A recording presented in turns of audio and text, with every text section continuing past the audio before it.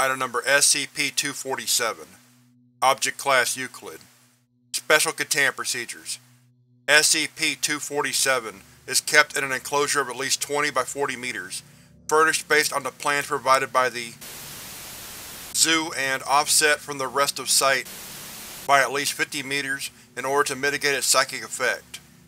As per current containment procedures for SCP-148, its use in the containment of other SCPs is to be avoided if at all possible. O5 SCP-247 is to be fed 18 kg of fresh meat on a tri-weekly basis. Feeding occurs in a separate enclosure.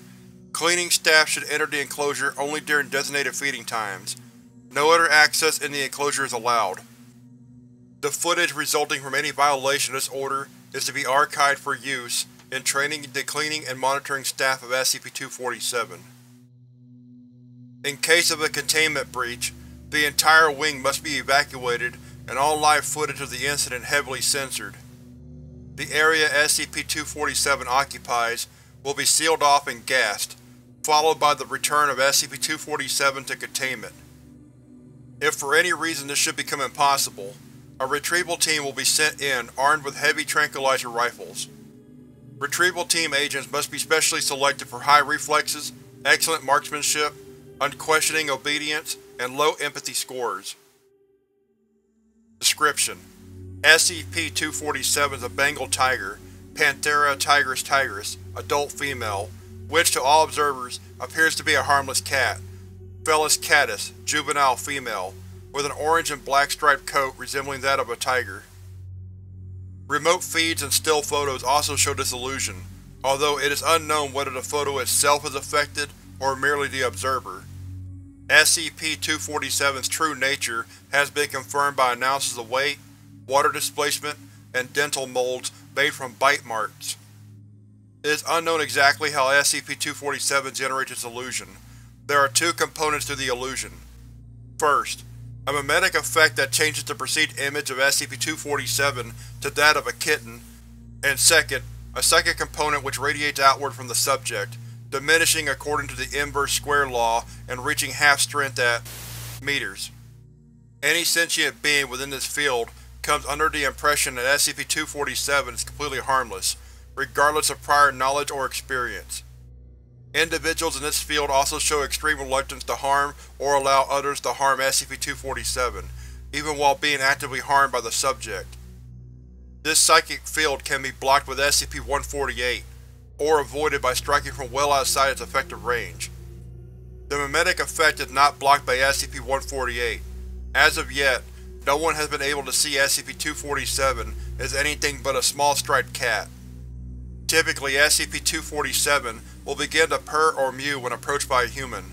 The human will remark that this is adorable, and approach to pet the subject. This has been observed even in persons who strongly dislike cats. SCP-247 has been known to accept affection from its victims for upwards of seven minutes before disemboweling and devouring them. Genetic analysis shows slight deviation from a typical Bengal tiger's genotype, indicating possible contamination. All further breeding experiments require O5 level approval. The resulting hybrids have been designated SCP-247-1.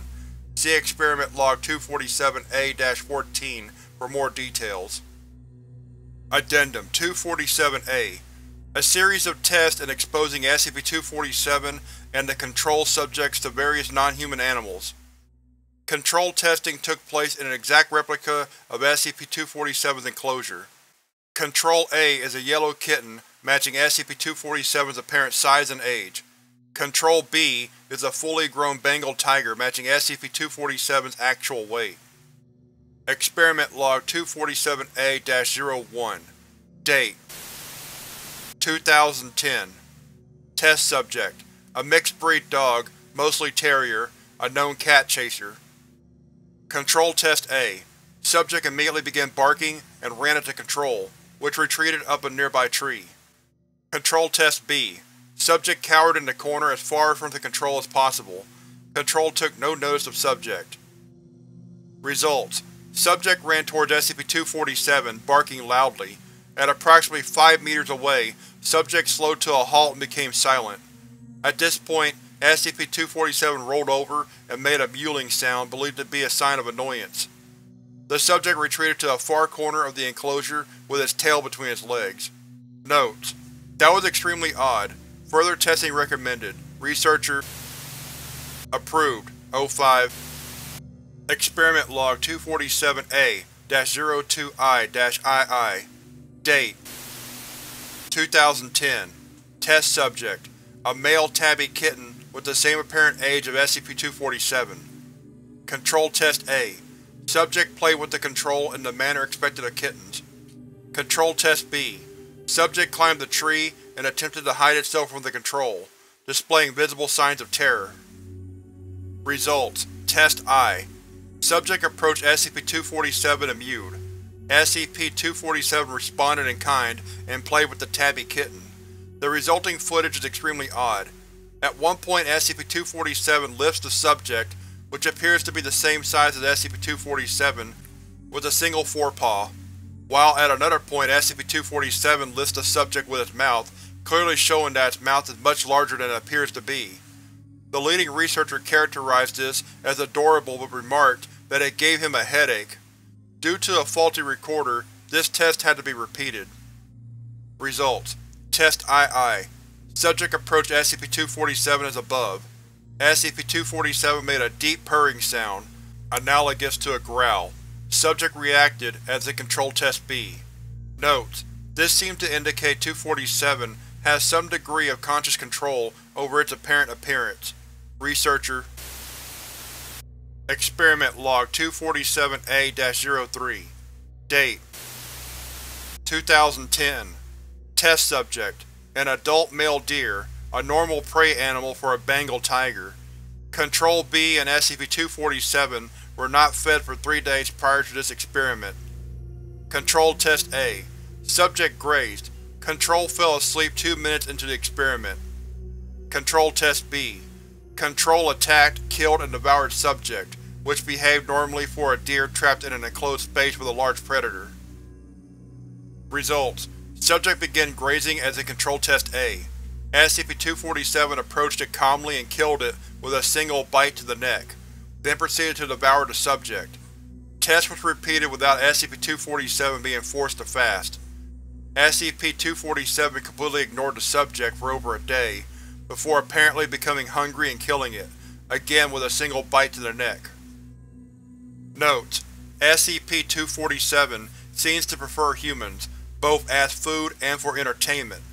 Other prey animals presented to SCP-247 were all killed with a single strike, while humans are invariably allowed to pet the SCP for some time before being killed and are sometimes mauled and played with the way a cat will play with a mouse.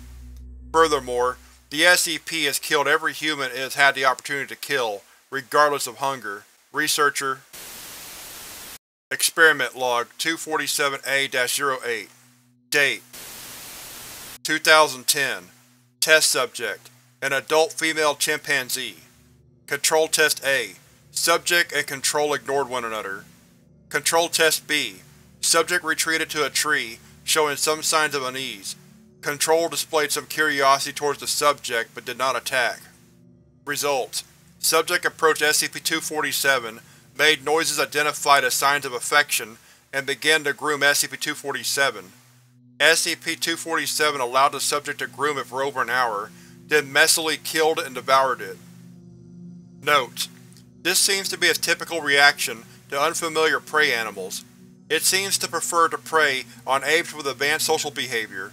Experiments with gorillas and other social apes have shown similar results. Essentially, SCP-247 is a large predator that has somehow adapted to take advantage of the largest available food source, humans. We should investigate all future reports of man-eating tigers in case there are more of these things. Researcher Experiment Log 247-A-12 Date 2010 Test Subject an adult female grizzly bear.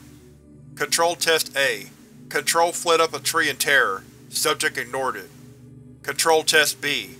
Subject and Control acted nervously and gave one another as large a berth as possible. Results: Initially Subject and SCP-247 ignored one another. At one point subject came very close to SCP-247, resulting in SCP-247 giving a warning growl. Subject responded with hostility. Test aborted due to possible harm to SCP-247. Subject tranquilized by Foundation personnel and subsequently killed by SCP-247. Note: Future tests involving animals potentially capable of killing or injuring a Bengal tiger are cancelled. Researcher Experiment Log 247-A-13 Date 2010 Test Subject An adult female Bengal tiger Control Test A Control fled up a tree in terror. Subject ignored it. Control Test B Subject and Control greeted one another, established the order of social dominance, then both fell asleep. Results: Identical to Control Test B. Notes: Interestingly, SCP-247 was the beta animal in this interaction. Researcher. Experiment Log 247-A-14 Date. 2010 Test Subject. An adult male Bengal tiger. Control Test A. Control fled up a tree in terror, subject ignored it. Control Test B Omitted Record of normal Bengal tiger mating behavior substituted. Results as expected based on Control B. Notes: Researcher has been removed from this project for lax security in his experiments, although in light of his injuries, further disciplinary measures have been deemed unnecessary. Which seems to have benefited from a form of hybrid vigor has been designated SCP-247-1.